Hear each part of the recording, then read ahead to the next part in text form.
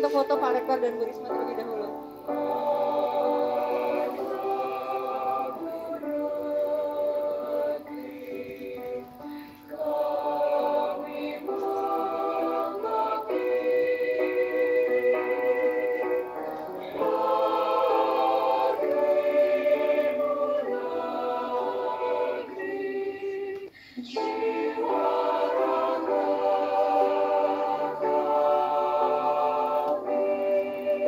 Matur nuwun kami sampaikan kepada Ibu Wali Kota Surabaya sudah berkenan hadir pada acara soft launching kali ini.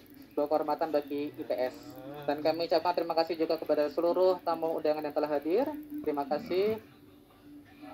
Eh, saya satu pengumuman akan saya sampaikan sebelum kita akhiri acara hari ini, yakni saya akan umumkan untuk internal ITS di mana ada pengumuman terkait pemenang ITS Improvement 2020.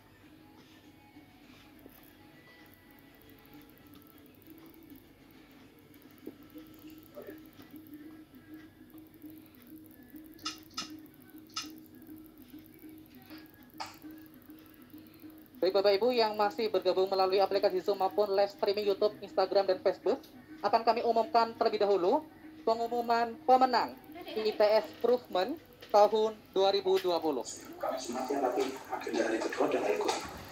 Ya, jadi Perlu diketahui bahwa Improvement 4 ITM tahun 2020 adalah event tahunan SDMO untuk membadahi ide inovasi teknologi kependidikan ITS. Dan tahun ini, ITS Improvement memiliki tiga kategori dan para juri telah menentukan lima finalis pada tiap-tiap kategori. Dan berikut adalah pemenang dari tiap kategori.